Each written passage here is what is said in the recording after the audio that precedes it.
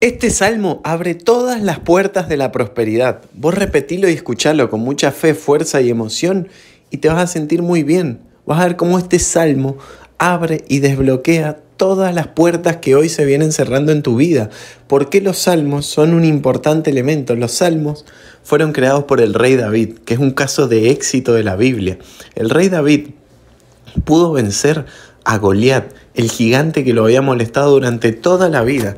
Y si a vos toda tu vida te viene costando el dinero, las relaciones, la salud, hay algo en tu vida que te viene costando, entonces con este salmo lo vas a abrir, lo vas a desbloquear.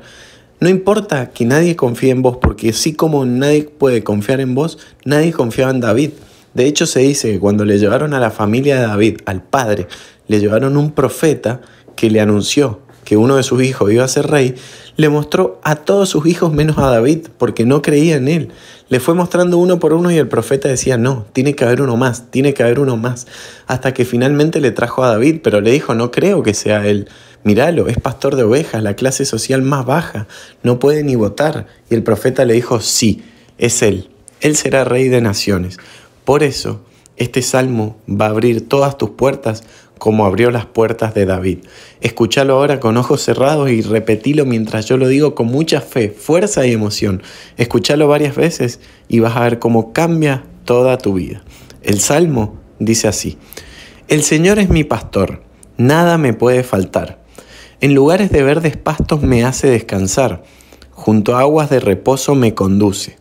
Él restaura mi alma, me guía por senderos de justicia, por amor de su nombre.